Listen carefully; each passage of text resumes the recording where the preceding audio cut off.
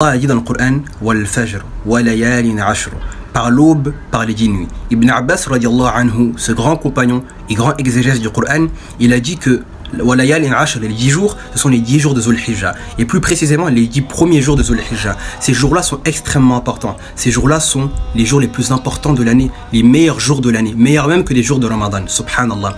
Durant ces dix jours, il y a aussi le Hajj qui commence, le 8 Zulhijjah, ce qu'on appelle Yom Tarwiyah. Il y a aussi le jour de Arafat. Le jour de Arafat, c'est dans certains textes, il est dit que Shaitan ne s'est jamais vu humilié plus que le jour de Arafat. Le jour de Arafat, si tu gênes ce jour, tes péchés de l'an passé sont expiés et tes péchés de l'année à venir sont expiés. Quand je parle de péché, je parle de petits péchés, car les grands péchés nécessitent un repentir. Maintenant, quand on commence ces 10 jours Normalement, on devrait rentrer dans le mois de Zulhijjah vendredi 8 juin après le Maghrib. Normalement, si je m'abuse, ça devrait être vendredi 8 juin après le Maghrib. Après, vérifier quand même, peut-être que ce sera même ce soir. Mais normalement, on devrait rentrer dans le mois vendredi 8 juin 2024 après le Maghrib.